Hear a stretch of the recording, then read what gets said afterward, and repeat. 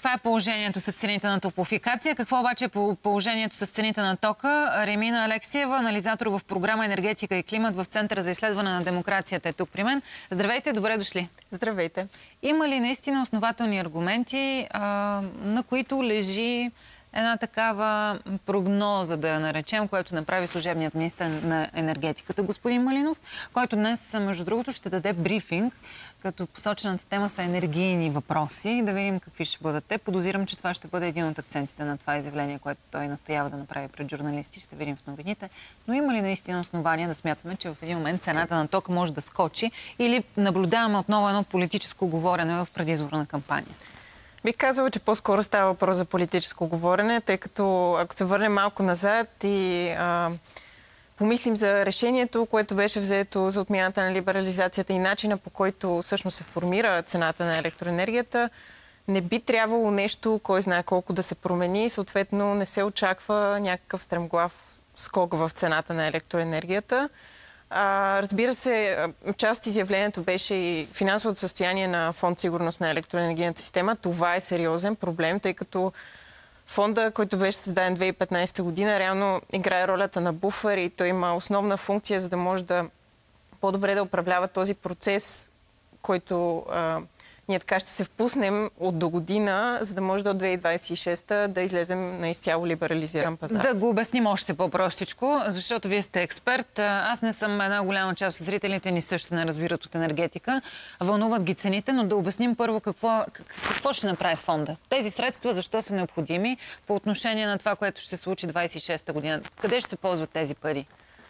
Всъщност Начинът по който ще се ползват да. парите, а, това е свобода на управление на самия фонд. Mm-hmm. Тоест, а, да кажем, ние в предишни анализи още миналата година а, сме казали, че а, фонда може да бъде използван за изплащането на компенсации, съответно за подкрепа на уязвимите потребители. Тук говорим за хората, които биха се класифицирали като енергийно бедни, имат нужда от помощ за плащане на сметките си за ток, за да може този процес всъщност, когато излезем на либерализиралия пазар да е по-плавен да. и ако има някакъв скок в цените, който се случва чисто на пазарен принцип... Да бъде туширан може... тези пари. Да, това е... Да, а, всъщност самия фонд... А, средствата му идват от а, няколко канала, но най-просто казано от продажбата на въглеродни квоти. Всъщност това е един от аргументите защо има дефицит във фонда, защото цената на въглеродните квоти така, тенденцията е да се повишава, но има моментно, а, моментен спад в цените. Знаете, това е свързано и с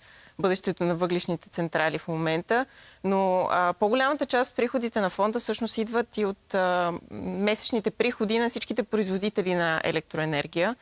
А, а ние знаем, че в момента има бум на ВЕИ производството. А, сектора се развива много добре, на, чисто на пазарен принцип въпреки всичките регулаторни пречки. Да. Тоест, ние бихме очаквали, че и с помощта най-вероятно на управленски решения от а, държавния бюджет, този фонд всъщност да дефицитът му да бъде а, преодолян. Какъв е дефицита към днешна дата? Има ли информация?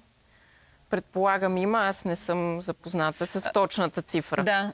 Опитвам се да добия представа доколко той наистина е сериозна предпоставка за повишаване на цените. Да, това, което всъщност казах е, че а, решението беше взето либерализацията на електроенергийния пазар за битовите потребители да, да бъде отложено с една година. Mm-hmm. Което означава, че в момента вие споменахте също, че Комисията по енергийно и водно регулиране е в процес, т.е. тя изчаква а, а, подадената информация от производителите на електроенергия за това каква е базовата цена, какви са техните разходи за производството на тази енергия и на базата на това и на различни формули, които се използват а, и сам, самия механизъм да се определи цена, която съответно ще бъде регулирана. Така че от тази гледна точка, чисто процедурно, не бихме очаквали да има промяна в цената на електроенергията.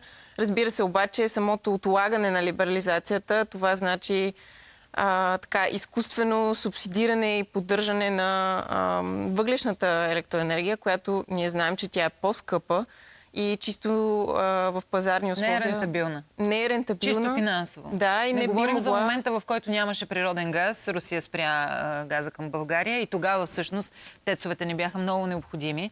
А, но в по-голямата част от времето, поне експерти и енергийни наблюдатели казват, че не е рентабилно. Скъпо е и не е необходимо, защото Абсолютно. енергия има. Тя ни струва прекалено скъпо в момента и факта, че а, либерализацията се отменя, това значи, че тя отново ще влезе в а, този а, производствен микс. Тоест, в... ще се повишат цените. За крайния потребител, предполагам, в този... Не очакваме... Веригата. няма опасност цените в момента, а, Да скочат. гледайки пазарните условия, да скочат а, стремглаво и по Да. начин, по който потребителите да бъдат оплашени.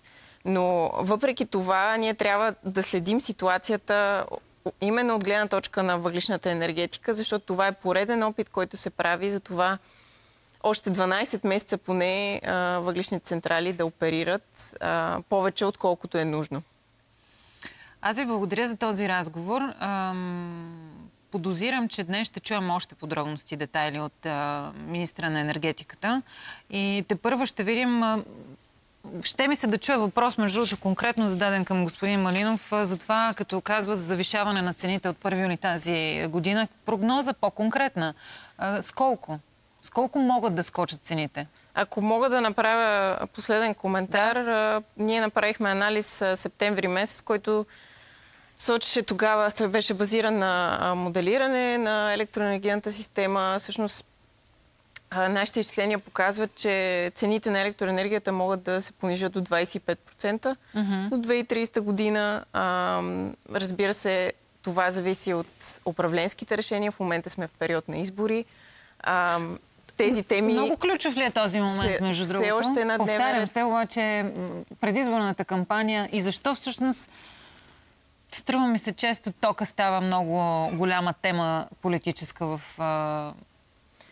Става голяма момент. тема, а, защото тя пряко касае потребителите и това обикновено се използва като инструмент а, чисто по популистски причини а, за дадено решение да се вземе или не. Всъщност либерализацията е нужна като процес и това е път, по който сме поели вече повече от 15 години.